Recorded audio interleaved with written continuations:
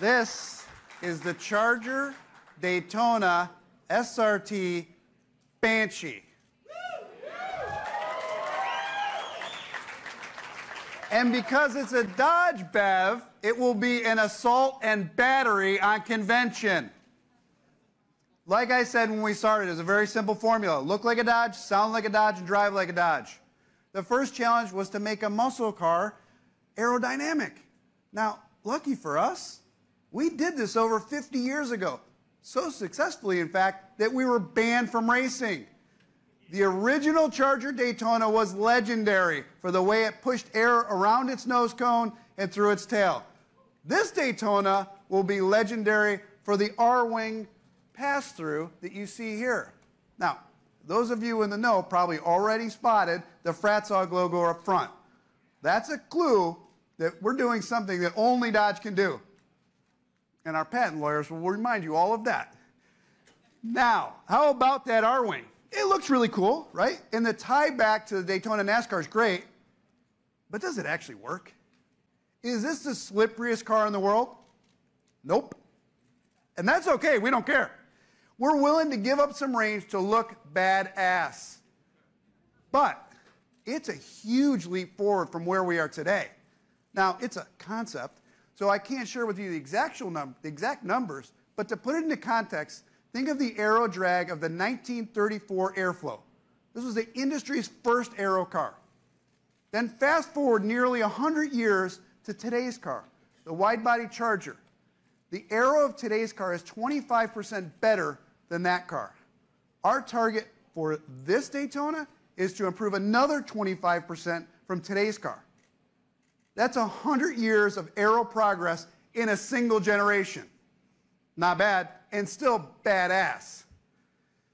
Next, it had to sound like a Dodge. The Charger Daytona isn't just going to be remembered because of the looks. It's going to be remembered because it's been amplified by its patented sound chamber. While other EVs are focused on keeping quiet, we amplified ours. Thanks to the patented Fratzonic chambered exhaust the output is going to be as visceral as those that came before it.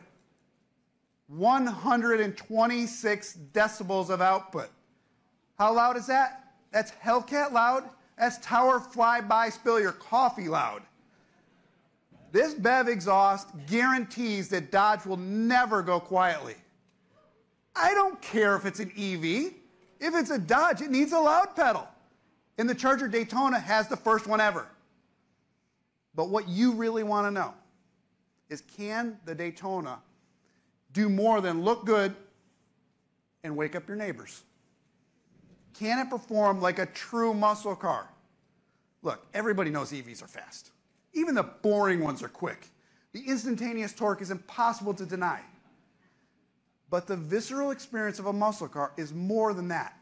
It's more chainsaw than it is cordless drill. So we made sure that the driving experience will be marked with familiar Dodge attributes. The typical single-speed transmission in a BEV, super efficient. But we know that part of what makes a Dodge a Dodge is the way our power throws your shoulders into the seat back at shift points. So our engineers designed the new ERUPT system. It is a multi-speed transmission with an electromechanical shifting experience that's pure Dodge. How unique? Yeah, that's also patented. At every opportunity, we use this new tech to make a muscle car a better muscle car. Now, you're all going to ask me, so I'm going to get it out of the way. What about the power? Yeah, I'm not going to tell you that yet. But what I can tell you is it will share another very familiar Dodge exclusive, direct connection. The Charger Daytona will launch with three power levels all the way up to the 800 volt Banshee system. But we're also developing nine power levels through direct connection. You're going to have nine total power levels on this car. And all of those power levels will come standard with our exclusive PowerShot push-to-pass system. Direct connection is also going to allow our drivers to unlock the features that they want, like a slam mode, drift mode, drag mode, and yep, even a donut mode. And finally, Remember where I started?